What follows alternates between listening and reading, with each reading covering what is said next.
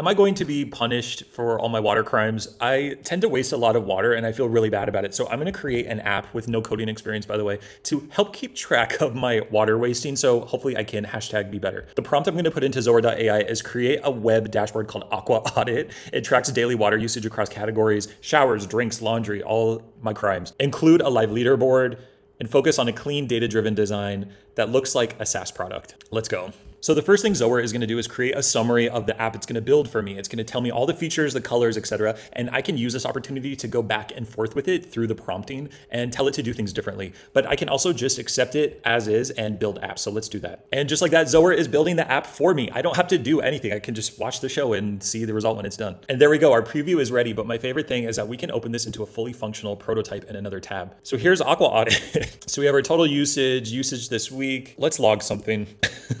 Gonna do a shower, change our units to gallons, and say 50 gallons. Oh, and there we go. I'm the top water waster already. No surprise, really.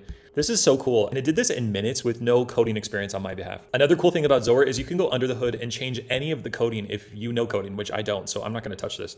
What do you guys want to see me code next? Let me know in the comments.